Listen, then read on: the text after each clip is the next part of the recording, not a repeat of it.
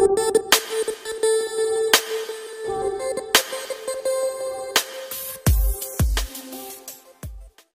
चलिए जी thank you so much for coming back मेरा नाम है सुनील अधिकारी और आप देख रहे हैं स्टूडेंट कैन हेल्प यू कैसा बच्चे लोग सारे? आज का वीडियो अगेन बहुत ही खास, बहुत ही स्पेशल होने वाला है. आज के वीडियो में बात करने वाले हैं कंप्यूटर साइंस या फिर आईपी या फिर आईटी अगर आप ऑप्शनल सब्जेक्ट लेने की सोच रहे हैं क्लास इलेवेंथ में, जी हाँ टेंथ के बाद आपको एज ऑप्शनल सब्जेक्ट आपको, चाहे आप आर्ट्स लें कॉमर्स लें या साइंस लें सी या फिर हो सकता है आईपी आपके स्कूल में, या फिर हो सकता है आईटी नाम से कंप्यूटर सब्जेक्ट आपके ऑप्शनल में कहीं ना कहीं हो। तो वो चीज़ लेनी है आईपी आईटी सीएस वगैरह लेना है आपको या नहीं लेना है?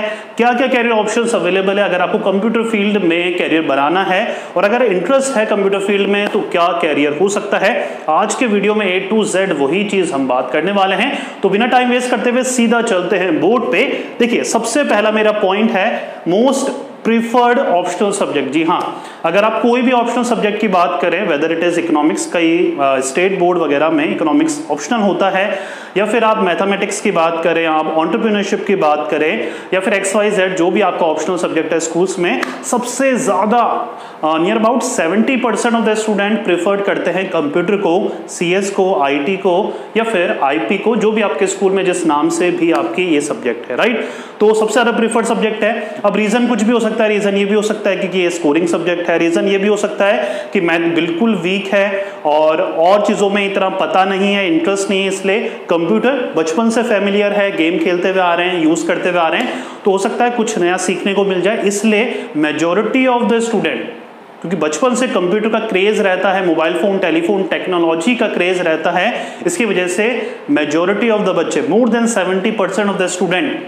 respective of the board कोई सा भी बोर्ड हो आई बी हो आईसीएसई बोर्ड हो स्टेट बोर्ड हो, कोई भी बोर्ड हो सीबीएसई हो, सब बच्चे ज़्यादातर क्रेज कंप्यूटर फ़ील्ड का या सीएस का आईपी का या आईटी का रहता ही रहता है राइट सेकेंड रीजन ऑब्वियस सा है स्कोरिंग सब्जेक्ट है, जी हाँ बिल्कुल, क्योंकि इसमें प्रैक्टिकल और थ्योरी का कॉम्बिनेशन होता है सीबीएसई की बात करें 70 प्लस 30 का रेशियो रहता है 70 percent theory thirty percent practical अगर स्टेट बोर्ड की बात करें तो बहुत ज़्यादा फ़र्क है यहाँ पर 60 परसेंट थ्योरी रहता है नियर अबाउट 40 परसेंट के नियर अबाउट आपका प्रैक्टिकल आ जाता है क्योंकि बहुत ईजी रहता है मेरिट में मार्क्स लाने, या फिर पर्टिकुलर इस आईपी में सीएस में या आईटी सब्जेक्ट में अच्छा स्कोर करना। देखिए, अगर इसमें अच्छे मार्क्स आते हैं और किसी और सब्जेक्ट में मार्क्स नहीं भी आ पाए बोर्ड एग्जामिनेशन में तो ये सब्जेक्ट कंप्यूटर सब्जेक्ट आपका और सबका कवर अप कर लेता है। तो बहुत ही आसानी से आप इसमें 90 अब स्कोर कर सकते हैं। प्रैक्टिकल सब्जेक्ट में आपको पता है एक्सटर्नल आता है प्रैक्टिकल लेता है और कोई भी एक्सटर्नल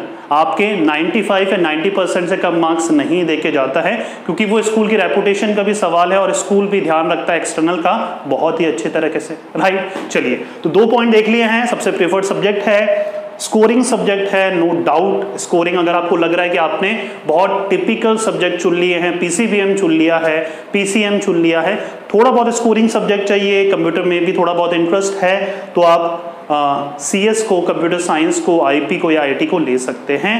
आ, बहुत ईजी तो नहीं कहूँगा मीडियम लेवल का सब्जेक्ट है ना बहुत ईजी है ना बहुत ज़्यादा टफ है। इंटरेस्टिंग है स्पेशली उन बच्चों को मज़ा आएगा जिनको आईटी लाइन में ही कंप्यूटर की लाइन में ही सॉफ्टवेयर लाइन में कहीं ना कहीं कंप्यूटर की स्पेसिफिक लाइन में अपना कैरियर बनाना है। उनके लिए बहुत ही बेहतरीन लाइन है कंप्यूटर साइंस की इंफॉर्मेशन टेक्नोलॉजी की या फिर आईटी की जो भी आप नाम से सीएस है आईपी है आईटी है राइट चलिए।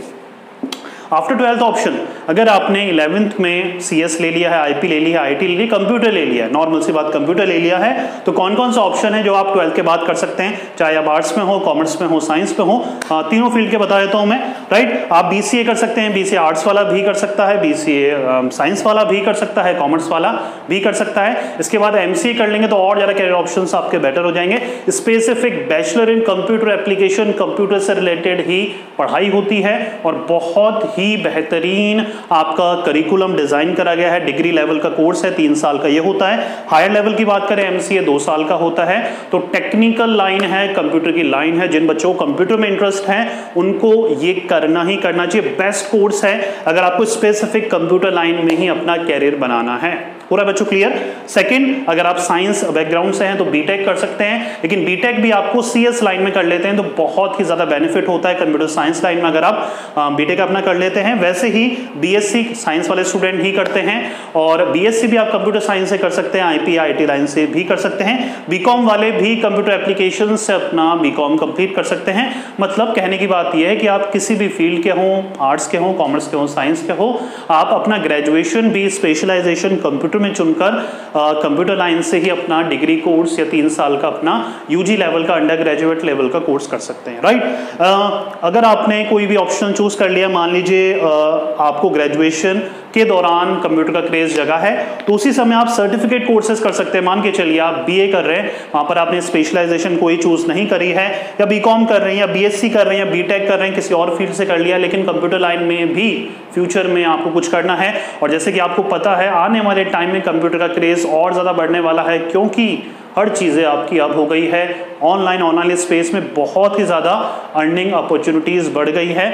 और आप अगर वर्ल्ड के लेवल पे देखें रिचेस्ट जो पर्सन है टॉप फाइव में, उनमें से तीन जने जो हैं ऑनलाइन स्पेस की वजह से इंटरनेट की वजह से ही इतने करोड़ों अरबों कमाते हैं राइट तो ऑनलाइन स्पेस में कैरियर बनाना है।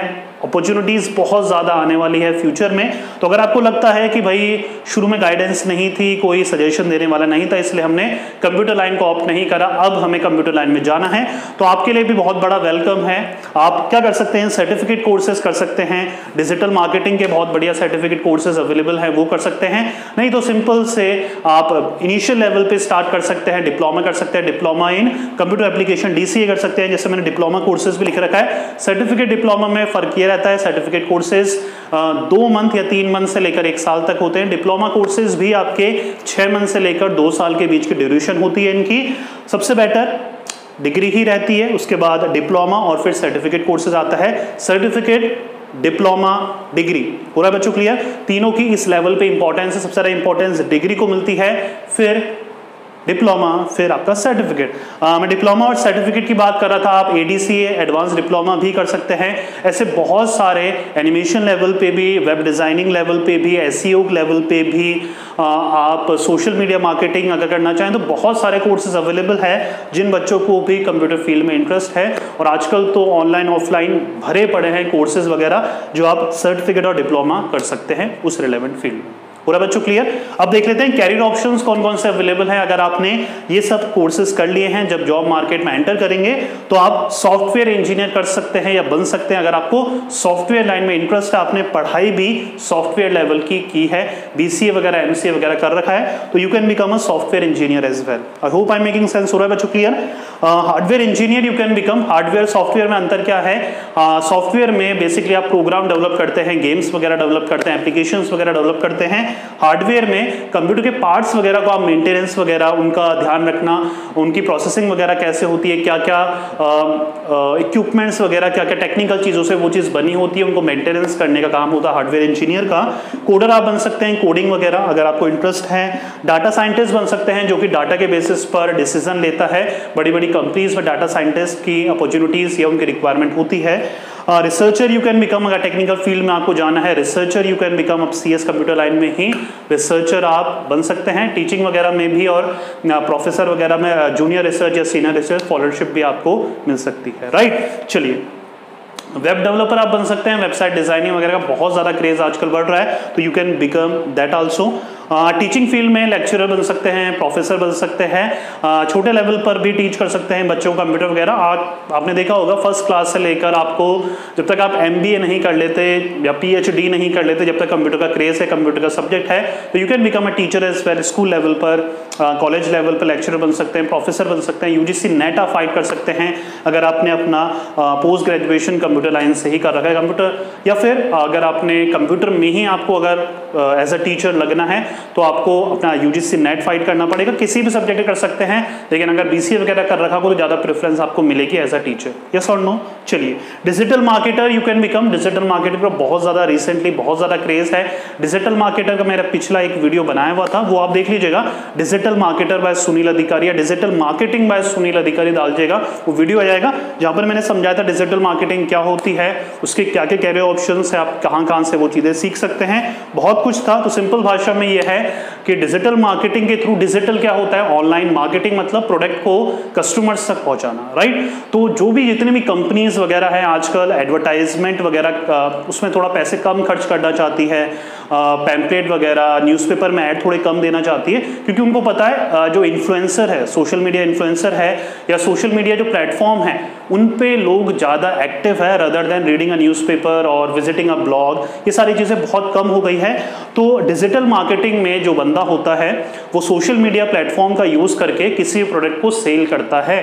आपके पास कंपनीज़ आएगी, आपके पास आएगी और बोलेगी कि मुझे अपना प्रोडक्ट प्रमोट करना है तो आप वेरियस सोशल मीडिया प्लेटफॉर्म पे जाएँगे। इधर इन गूगल गूगल में फ़र्स्ट पेज पे अगर आप रैंक कर पाए किसी भी कंपनी के वेबसाइट में तो you are become an SEO expert माना जाएगा आपको राइट तो बहुत कुछ है डिजिटल मार्केटिंग में। प्लीज़ वो वीडियो चेक ऑन करना मत भूलिएगा अगर डिजिटल मार्केटिंग की आपको ज़्यादा जानकारी चाहिए राइट बहुत कुछ है। अगर ये डिग्री कोर्सेज आप करना चाहते हैं तो मेरे हर एक डिग्री कोर्स पे वीडियो बना हुआ है। बस आपको टॉपिक का नाम लिखना है बाय सुनील अधिकारी लिखना है। जैसे कि BTech by Sunil Adhikari BSc BCA diploma certificate courses बहुत कुछ बना हुआ है मेरा कंप्यूटर से रिलेटेड जिन बच्चों को भी आईटी या कंप्यूटर साइंस साइड में इंटरेस्ट है। आई होप सो वीडियो पसंद आया होगा। नेक्स्ट वीडियो किस टॉपिक पे चाहते हैं प्लीज़ कमेंट करके ज़रूर बताइएगा। वीडियो को शेयर लाइक और कमेंट करना मत भूलिएगा। और चैनल सब्सक्राइब करना मत भूलिएगा अगर आपको वीडियो पसंद आया है तो। राइट चलिए, मिलेंगे नेक्स्ट वीडियो पे किसी और इंटरेस्टिंग टॉपिक के साथ। तो पढ़ते रहिए, मेहनत करते रहिए, क्योंकि आपका भी दिन आएगा। Thank you so much